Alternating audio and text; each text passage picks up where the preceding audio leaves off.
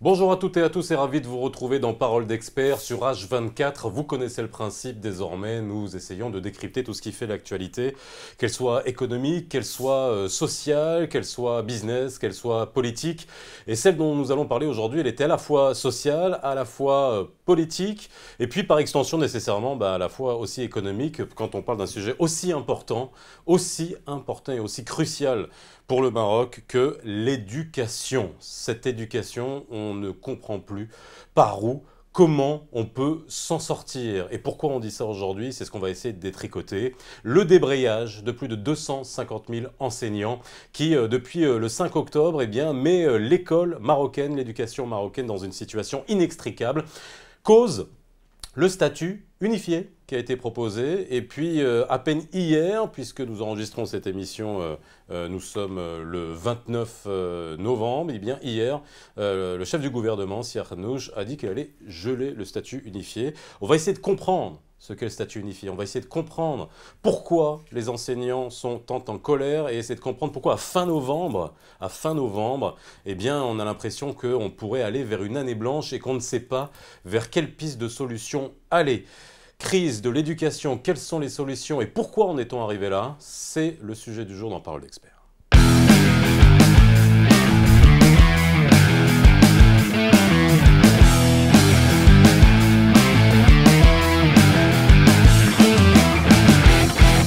Et pour en parler avec moi, j'ai le plaisir de recevoir eh bien, deux experts. Avec moi sur le plateau, c'est Yassine Jazouli, qui est expert, expert pardon, en éducation et en formation. C'est Yassine, bonjour. Bonjour. Merci hein, d'être avec nous aujourd'hui. Merci pour l'invitation. Et avec nous euh, en ligne, hein, et merci d'avoir répondu à notre invitation, c'est Mohamed Aouaj, vous êtes directeur de, de l'AREF, l'Académie régionale de l'éducation et formation de Tanger-Tétouan. Bonjour Assidi.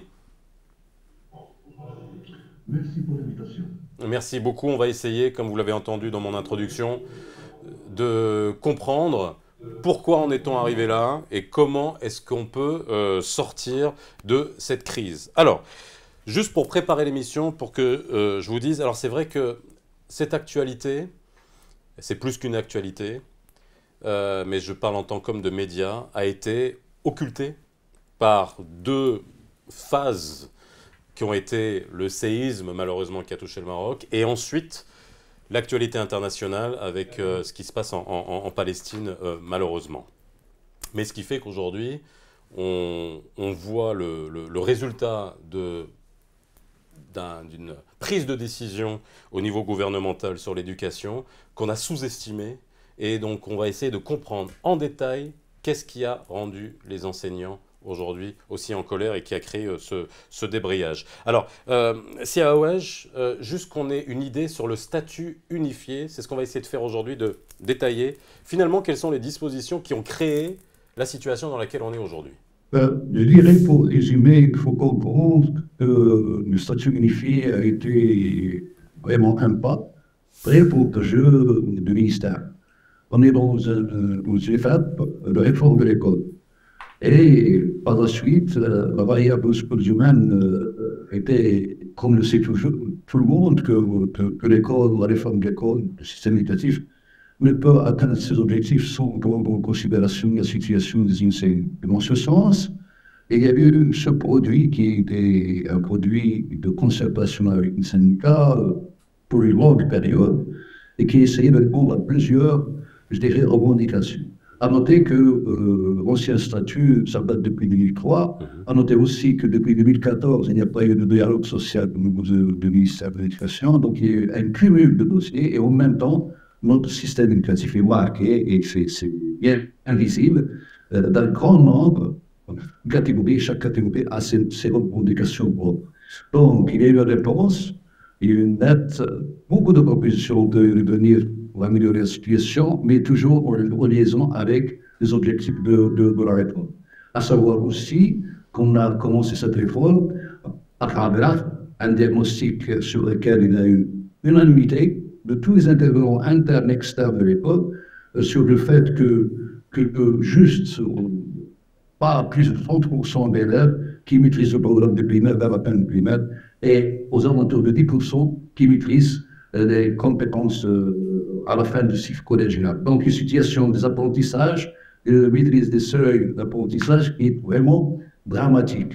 Et ça s'était constaté par les intervenants d'école, parce qu'on sait ce qu'on dit, les enseignants inspecteurs, tout le monde peut confirmer, l'opinion publique nationale, internationale, on est classé dans des différentes euh, zones d'études d'évaluation des apprentissages, une situation qui n'est pas vraiment euh, confortable, pour ne pas dire dramatique. Alors justement, je vais, je vais, vous arrêter là, c'est Awesh, parce que je vais faire, je vais faire euh, réagir, c'est Yacine Jazouli, parce que faut, là, ce que vous nous dites, finalement, ce sont des choses qu'on entend depuis longtemps.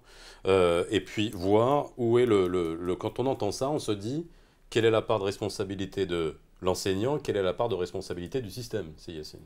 En fait, l'enseignant ici, lui aussi, c'est une forme de victime, on va dire, de, cette réforme, donc qui a été gelée pour le moment, donc qui, qui a été rejetée par tous, au fait, tous les intervenants, même les syndicats qui ont négocié, se sont retirés à la dernière minute. juste, alors vraiment pour que les gens qui nous regardent, euh, parce que dans certains articles, on voit tourner que euh, c'est comme si c'était arrivé du jour au lendemain. Non, il y a eu une négociation avec les syndicats. Oui, deux ans. Voilà, partenariat, enfin dans, dans, le partenariat, dans le dialogue. Mais là, une fois que la mouture est sortie, les syndicats se sont, se sont rétractés. Donc les, les quatre grands syndicats représentatifs se sont retirés donc, et, ont rejeté euh, le texte dans son intégralité. Euh, ce qui montre qu'il y avait, je pense, dans ce sens, un, gros problème de communication. C'est-à-dire que même ces syndicats-là, euh, comme vous voyez, il y a les coordinations aujourd'hui, qui sont à peu près une vingtaine de coordinations, mhm. donc dans lesquelles se retrouvent les, les, enseignants plus que dans les syndicats. Donc il y a aussi ça, ce malaise-là, c'est les syndicats qui sont représentatifs, qui se sont retirés, avec les, avec les enseignants qui n'y croient pas tellement parce qu'ils ne sont pas tous affiliés à ces, à ces centrales syndicales, se sont mis en coordination. Ces coordinations aujourd'hui appellent, et, c'est eux qui ont cette forme de mobilisation, donc euh, tout le monde a été mobilisé. Vous avez eu euh, plus de 100 000 euh, enseignants se sont arrêtés du jour au lendemain et la mobilisation continue toujours. Donc la communication, pour moi, c'est la base qui a fait que cette réforme, parce que c'est un changement, et dans, dans, toute conduite de changement, ce qui fait sa réussite, c'est la communication. Alors justement, en parlant de communication, c'est quoi le changement qu'apporte ce statut? Alors j'ai euh, là des témoignages hein, que j'ai compilés d'enseignants. Hein, qui viennent un peu partout dans le Maroc, et j'ai un peu compilé, et finalement on a absolument la même trame, et certains qui ne se connaissent absolument pas, donc euh, on, voit le, ce qui est à peu près, ce qui a rendu euh, furieux dans le statut les enseignants. Un, pardon, ajouter des tâches et des missions supplémentaires, non rémunérés, comme la coordination avec les parents, la médiation, cours de soutien, activités parascolaires, bénévolement, mais obligatoire en dehors des 21 heures de cours officiels. Ça fait partie, des, choses qui ont, qui, ont été, euh, qui ont été mises en place. Et après, vous me corrigerez s'il si, euh, euh, y a des choses qui sont, qui sont fausses. de changer le statut de fonctionnaire de l'État à personnel des ressources humaines rattachées aux académies régionales, aux AREF. Et enfin, et là c'est on me dit surtout la goutte qui a fait déborder le vase, c'est le tableau des augmentations qui ont été décidées sans qu'aucune partie ne concerne les enseignants, à part les agrégés, et à part des primes au mérite, mais qui sont bien médiocres. Et là, je vois, je vois qu'on parlera des rémunérations, mais là, je dis par exemple euh, des tâches médiocrement rémunérées comme les corrections, 17 heures de correction sur deux jours, ça génère 200 dirhams pour un professeur, en tout cas celui qui nous a fait ce témoignage. Donc là, j'ai essayé de compiler les trois principaux euh, points qui sont euh, à l'origine de euh, la, discorde. C'est est-ce que sur ces différents points, est-ce que vous pouvez nous donner des, détails?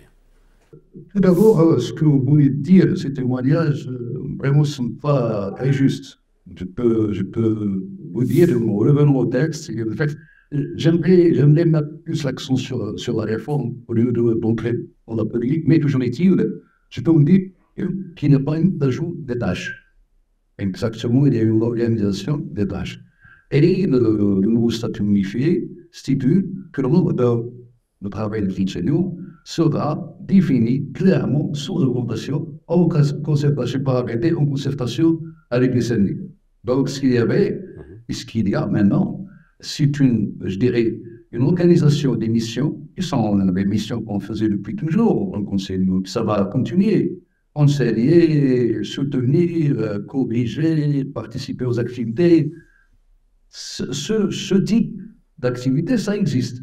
Le nouveau statut, il a voulu les valoriser. Et de mauvaises interprétations, de bonnes comme de mauvaises foi, mhm. on met l'accent que, comme quoi, on a demandé aux enseignants des tâches obligatoires, en plus des heures de travail. La réforme, l'une des choses qui est le plus, le plus structurée, c'est l'école primaire. Et à savoir, c'est concret. C'est les écoles qui, sont, qui se sont inscrites volontairement. C'est ces écoles, avec les enseignants directeurs, enseignants, tous les intervenants, se sont portés volontaires et ont postulé, présenté leur candidature, ils ont été acceptés. Donc, et en même temps, ils font des activités parascolaires mais ce n'est pas à l'extérieur du travail. On fait le soutien pour les écoles C'est vrai que c'est le plus, le plus je vais, qui a le plus d'impact sur l'amélioration des seuils de maîtrise des, élèves. On a constaté qu'on a gagné une année grâce à 60 jours de, soutien en arabe, deux années en conseil et au pour répondre au diagnostic amer. Est-ce que ça a été fait à l'extérieur des de travail des enseignants? Ça, c'est bien. Pour les humaines, donc de statut, Oui. Il y a l'article 1 et l'article 3 qui parlent de ça. Il dit y a deux profils. Les fonctionnaires qui dépendaient de statut euh, fonction publique et puis les cadres qu'on appelait cadres fonctionnaires de l'académie. Il a dit que ces deux catégories, dorénavant, seront appelées en ressources humaines. Et ça existe dans plusieurs statuts pour pouvoir unifier et dire que c'est la même chose. Et en même temps dire qu'ils vont avoir le salaire de la TGR, ils vont avoir les mêmes avantages depuis euh, l'accès à la fonction jusqu'à la retraite. Il a essayé de vérifier. Et dire que juste les agrégés qui ont les avantages, c'est faux. Je, peux donner des chiffres. On a euh, le nouveau statut euh, déjà à celui du déjeuner, mais prévoyez que 140 000 enseignants dans le budget 2023 vont seront titularisés et pourront avoir des indemnités actifs des dernières années, les échelons.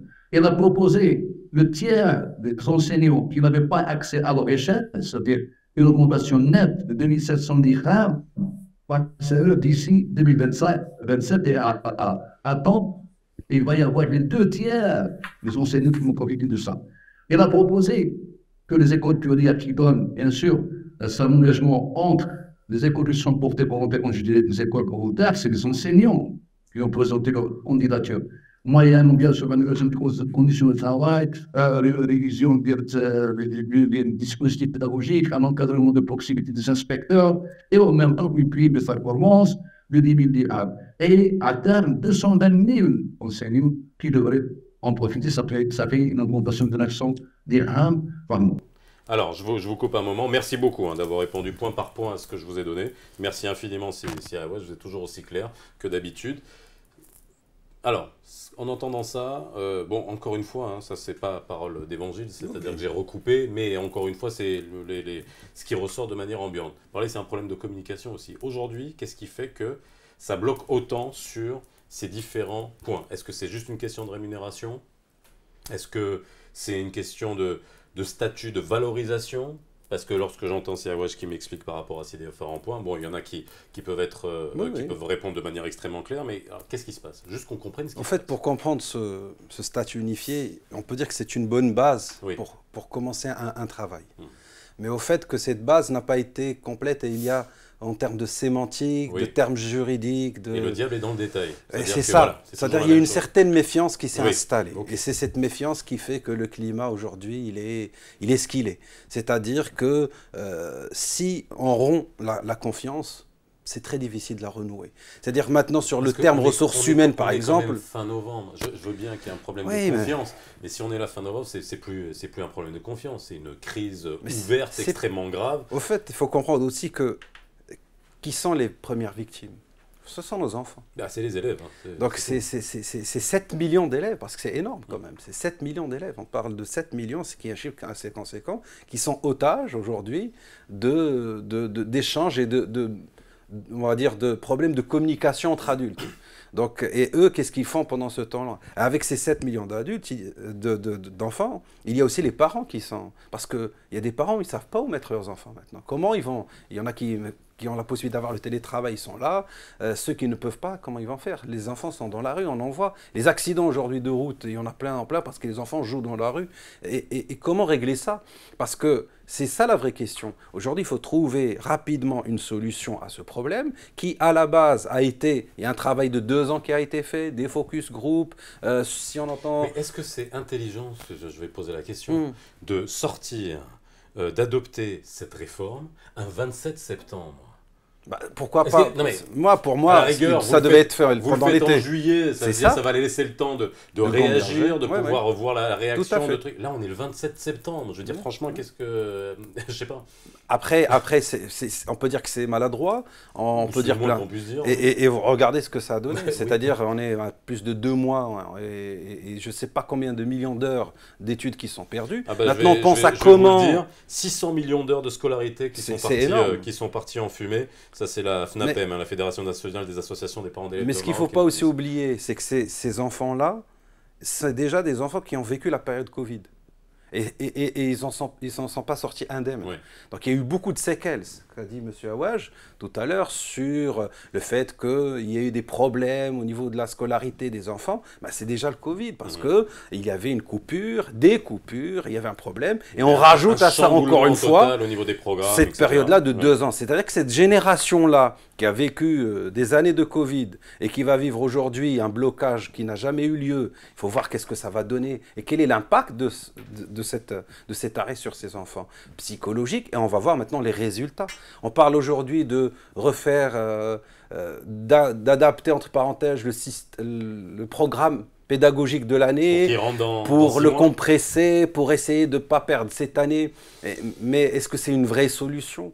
Est-ce qu'il ne faudrait pas aller et des fois changer, sortir en dehors de la boîte et penser euh, innover. Et c'est là où il faut faire appel à l'innovation. Mmh. On a des capacités. Il y a des, euh, les profs, ils sont de bonne volonté. Il faut, il faut, il faut euh, se mettre à table et parler clairement. Donc, euh, en dehors des clivages politiques, en dehors du langage administratif, il faut aller envers ces, ces enseignants. Les enseignants, c'est des gens qui sont naturellement de bonne foi. C'est la pierre angulaire de cet enseignement. Donc, on peut mettre les réformes qu'on veut si on ne s'intéresse pas à ces gens-là. Et là, c'est un cri d'alarme. C'est plus qu'un cri d'alarme.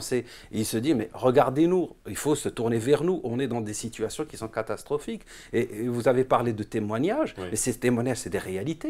C'est des gens qui les vivent. On sait que ceux qui sont dans des régions reculées vivent des calvaires. Moi, j'en ai rencontré dans le cadre de mon travail. J'ai rencontré des enseignants de primaire, de secondaire, qui sont obligés de se taper des, des dizaines, des vingtaines de kilomètres, d'habiter loin, euh, des jeunes filles que j'ai rencontrées qui pendant qu'il pleuve, qu'il neige, elles sont là, elles sont présentes, et ils sont motivés ces jeunes, parce que la majorité c'est des jeunes. Mais comment on va motiver les, comprendre. les jeunes qui vont se disent qu'ils vont devenir profs lorsque j'ai dans ce témoignage un des profs qui, après plus de allez, 20 ans de carrière, touche avec un bac plus 5 10 200 dirhams mensuels. Oui, oui. Et encore, il est bien loti. Bah oui, par Il est bien loti. Parce qu'il y en a, après 20 ans de carrière, qui sont à près de 9000 dirhams. Est-ce que ça, ça, il n'y a pas une vraie question à se poser sur la valorisation, c'est à Wesh du, euh, du professeur, tout simplement Je suis totalement d'accord et, je pense que ceux qui prétendent que le ministère et le ministre ne peut pas plaidoyer pour l'amélioration de la situation intérieure et matérielle et le rang social de l'enseignement se trompent. Ce débat, au début, j'ai dit que euh, le nouveau statut modifié a été corrélé étroitement à la question de la réforme parce que dans, sur les cinq ans, d'ici 2026, 2027, il faut que la banque change. C'est un engagement, pas uniquement du département, pas uniquement du gouvernement, je pense que c'est un engagement sociétal en matière d'amélioration de, de, de, de, maîtrise, de, de réduire l'abondance scolaire à la question de l'urbanisme. Et ce débat, si on revient pour que se projeter au l'avenir. La dernière réunion de chef de gouvernement, il a reçu le syndicat, le premier mot, le produit, ça c'était geler le, statut, on ne le mettons pas en œuvre, ouvrons le débat. Euh, débattre de toutes les questions des catégories, parce qu'il y a énormément de, de catégories, chaque catégorie essaie de se, de se projeter dans ce statut, donc toutes les revendications seront euh, mise euh, à table, et en même temps, et ça c'est très important, euh, le débat sur l'augmentation des salaires. Mmh. l'augmentation des salaires, c'est un débat qui est normalement, euh, dans l'ordre du jour, le débat central, et c'est toujours, ça, ça a toujours été comme ça, le chef du gouvernement avec les syndicats représentatifs, et c'est souvent une déclaration qui paie du mérite. Dans, dans des années, je dirais, habituellement, et c'est pas tout le monde, c'est comme ça. Donc, la, la piste d'augmentation des salaires, le ministère ne peut que l'appuyer. La piste de revoir ce qui a été, entre guillemets, pas très bien écrit dans une constatation, faut oublier ou pas très bien régulé sur la table. Et bien, bien sûr, l'intérêt suprême des élèves. Notre, je dirais, euh, notre existence comme on dit toujours, enseignants, euh, directeurs, tout ministre de l'éducation, notre raison d'être, c'est l'élève. Et par la suite, quand on oublie l'élève, c'est-à-dire que notre raison d'être n'est plus là. Et quand je dis, moi, personne ne peut culpabiliser les enseignants. Et moi aussi, euh, j'ai commencé enseigner dans les fiefs de, de l'Audouri à l'UNIPSA et je connais ce que c'est que travailler dans le monde rural dans des conditions vraiment aides et de favorables. Et on voit et on constate dans les visites qu'ils font un excellent travail. La majorité des enseignants ou enseignants font un excellent travail dans des missions qui ne sont pas toujours eh, favorables à, exercer le métier. Allez-y. On dit que l'enseignant c'est pas pour le culpabiliser, c'est pour dire que c'est l'acteur, la composante qui a le plus d'impact avec le, héros du système, c'est l'enseignant et l'enseignant. C'est dans ce sens-là, pas dans le sens de culpabiliser. Merci Serge. En tout cas, je sais, en tout cas, vous avez été professeur justement et que vous l'avez vécu euh, vous-même dans votre chair et à une époque où c'était encore plus difficile, euh, j'imagine. Euh, donc, dernière question à vous deux. Comment on fait pour sortir de là Donc là, gel Allez, ça c'est une décision politique parce que finalement, si Arnaud n'avait pas trop le choix, hein, mhm. soit il va encore plus au clash et on ne sait pas euh, vers quoi aller, soit on gèle et on essaye de remettre ça, euh, de remettre les profs dans, les classes et de remettre surtout les élèves dans les classes. Mais aujourd'hui, en ayant perdu, on dit 600 millions d'heures de scolarité, bon, c'est un grand chiffre, c'est-à-dire qu'on multiplie par le nombre d'élèves, etc., le nombre de profs. Mais en gros, ça fait deux mois de perdu euh, dans le programme.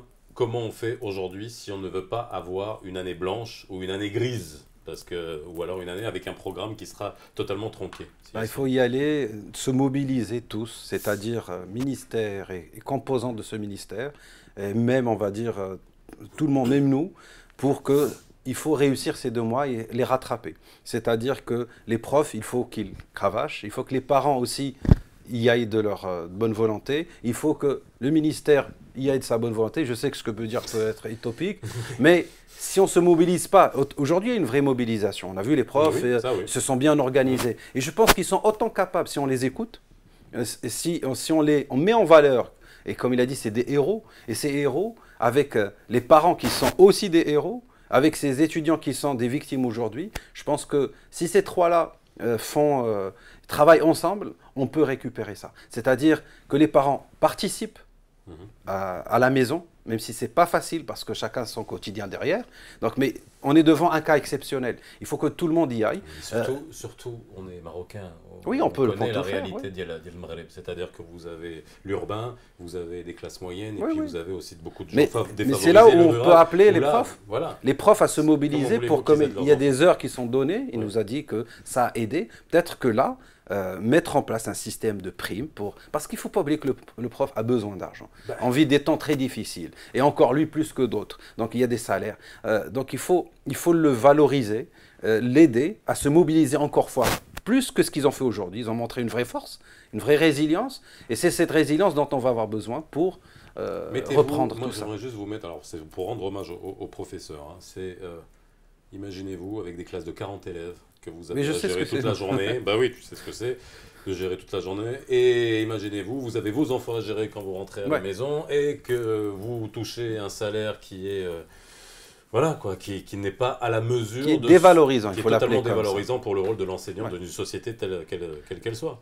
Mais un, prof, il faut lire le rapport qu'a fait le, le, Centre euh, national de, sur, sur l'enseignement. Donc il a, il a une étude qui est très simple sur l'enseignant au Maroc là, une des premières motivations des gens qui, ont cherché ce travail, c'est le côté pécunier. Donc, et, et, dans le monde entier, tout le monde tourne autour de l'argent. Il y a la vocation et il faut pouvoir vivre de. Il faut, il, faut, il faut allier les deux. Donc il faut lui donner les conditions de travail, il faut donner le salaire qui soit, qui se sente valorisé. Parce que c'est lui qui va former les directeurs de demain, les cadres de demain. C'est la base même de cette formation. Si on n'en prend pas soin de ce prof, si on, on le marginalise, si on le met de côté parce que d'après ce que j'ai pu lire, entendre et rencontrer des gens, ils se sentent marginalisés. Mmh. C'est-à-dire que, par exemple, dans ce statut unifié, quand on va voir, il y a eu des hausses chez les inspecteurs, c'est les directeurs, c'est chez plein de composantes, c'est-à-dire les gens qui sont au-dessus du professeur. Mais le professeur lui-même, c'est une infime partie mmh. qui va être valorisée. il ne faut pas oublier aussi qu'il est dans sa légitimité, qu'il demande un SMIC minimum qui est de 7500 dirhams pour salaire, parce que c'est aussi euh, une revendication. Et pendant, on se rappelle tous que c'était quelque chose que le gouvernement actuel avait promis à ces gens-là. Mmh. Donc il faut, c'est pour ça qu'eux aussi se sentent un peu, de dire, mais on nous a oubliés. Il ne faut pas oublier les profs, parce que les profs, c'est les héros, comme a dit.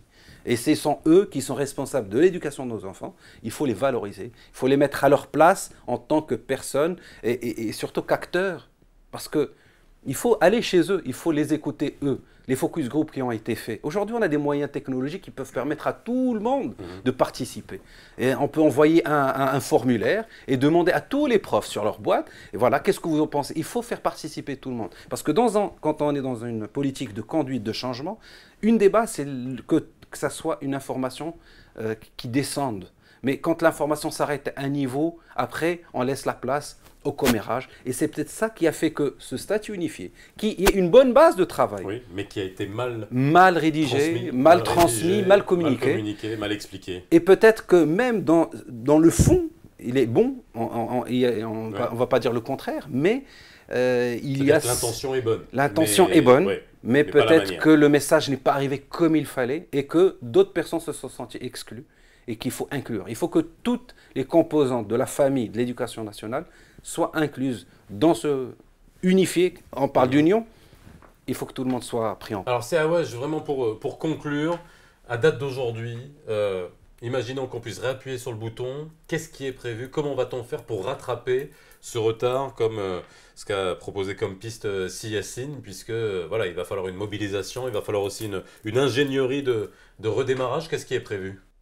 Je pense que, que maintenant, on s'inscrit dans ce dialogue qui a été entamé par le gouvernement, puis la commission qui ouvre les ministres et les ministres concernés, et, et sur laquelle, bien sûr, Dieu nous alors, le, le chef de, de et puis il faire un débat sur cette question, notamment sur la question de l'élection de salaire. Je pense que la solution, elle est là. Demain, c'est la première réunion, je dirais, de, de concret. Et par la suite, essayer de répondre à, à toutes les questions qu'il faut. Qu'est-ce qu'on peut faire aujourd'hui, ce qu'on peut faire demain demain. Et en même temps, on soit, on soit là un programme de soutien militaire indépendant des pays traditionnels. Et un développement qui devrait être euh, mis en œuvre avec des partenaires institutionnels, les réserves internes du système et en même temps les partenaires stratégiques du système, tout ce qui est euh, société civile, INDH, tout ce qui est Orange, tout ce qui est d'autres OSG, pour pouvoir but I can imagine the need at souvent de mais la question la veine de mais soyez sûrs que une fois à Washington c'est le cas. Et avec la bonne foi de la majorité de ceux qui ne sont pas euh, pu se projeter dans le statut euh, soyez sûr que, que, que l'année les acquisitions et les compétences et le temps qui a été perdu sera récupéré. Et en même temps, un défaut, il faut le dire, ceux et celles qui ont une petite minorité dans d'autres agendas et dépassent la question des gones, qui sont dérogés par la question de l'Europe, euh, il faut que cela, il faut, il faut vraiment qu'il y ait ce débat, comme l'a dit votre collègue, de communication, d'explication à l'opinion publique l'opinion publique, notamment aux, aux, partenaires immédiats, qui sont très les parents d'être et en interne, nos techniques, please. Et, et moi, c'est un bizarre pour. On constate, il faut dire, moi, avec un problème de chambre, de rendre des gens qui vont signer. Une information de ici, euh, piano, euh, libre, aller avoir une minute, vraiment, ce niveau de Et c'est ce qu'on. Il pas de ministère de dès le départ, c'est même. Et qui maintenant les ministres conservés, et auquel il y a il s'est mis cap, les bureaux de bâtiment, je pense que le système au lieu, petit bois, ou le auquel s'attendent, les enseignants, et les acteurs. L'enseignement est à l'école, comme d'un bon. Merci beaucoup. Si, ah ouais, j'ai désolé, hein, parfois vous aurez quelques-uns de vos mots qui seront euh, un peu euh, cachés à cause de la, de la liaison, mais de toute façon, on essaiera d'arranger ça. Merci beaucoup, si, ah ouais, en tout cas, d'avoir été avec nous, de nous avoir donné toutes ces clarifications. On essaiera de, de suivre, comme d'habitude, hein, dans Parole d'expert, le dossier et de voir dans quelques semaines où est-ce qu'on en arrivera. Yacine, vraiment toute dernière question? Optimiste pour la suite. Je sais que c'est compliqué d'être optimiste sur ce dossier-là. Dans les jours à venir, semaines à venir, maintenant que le chef du gouvernement a gelé le statut, est-ce que ça va débloquer les choses rapidement? On n'a pas d'autre choix que d'être optimiste. On n'a pas d'autre choix, au fait, parce que euh, c'est une ironie. Hein. Mhm. Donc tout le monde se rassemble, parce qu'on parle de nos enfants, de générations futures. Donc il faut, il, faut y, euh, il faut y aller avec de bon cœur, il faut avec toute son énergie et, et dépasser ce problème. Et je pense que l'enseignant et l'enseignement a assez souffert pour qu'aujourd'hui on pense ses plaies et qu'aujourd'hui on puisse bâtir vraiment un système qui soit fort et qu'on laisse un héritage à nos enfants euh, d'un enseignement digne de ce qu'on on, doit avoir. Merci beaucoup d'avoir été avec nous. En tout cas, voilà, je vous rejoins pour dire que le Maroc de 2023 ne mérite pas ça. Il mérite beaucoup mieux en ce qui concerne l'éducation. Ces années-là sont passées derrière nous et c'est pas le, le Maroc de la Coupe du Monde 2030 hein, que nous voulons voir euh, dans ces conditions-là. Merci à vous et on se retrouve très vite dans Parole d'experts. N'hésitez pas à vous abonner comme d'habitude, à laisser vos commentaires, vos questions et les sujets que vous avez envie qu'on traite pour vous. On se retrouve très vite sur H24. Bye bye.